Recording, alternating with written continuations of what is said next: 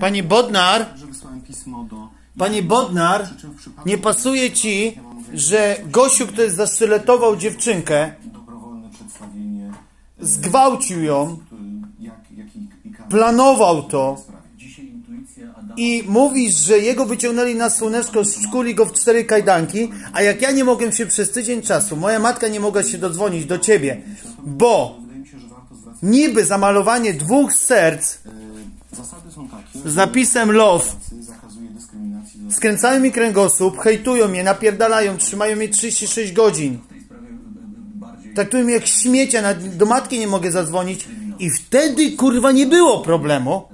Wystarczyło w internecie sprawdzić, dawno o tym mówiłem. Chcesz nagrania? To poproś policję. Chcesz nagrania? Poproś prokuraturę. Chcesz nagrania? Poproś y, hit casino.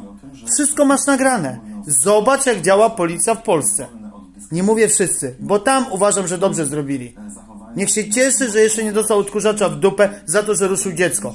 O, domniemane. To weźcie na wariograf. Od razu wam wyjdzie, czy to on, czy nie on. I weźcie policjantów i pielęgniarzy, którzy mnie skatowali pod pomnikiem smoleńskim, wyciągnęli mnie z kasyna bezprawnie i wtedy mów o prawach człowieku. Panie Bodnar. Albo podaj się kurwa dbać do dymisji. Jeżeli ty nie odróżniasz dobra od zła.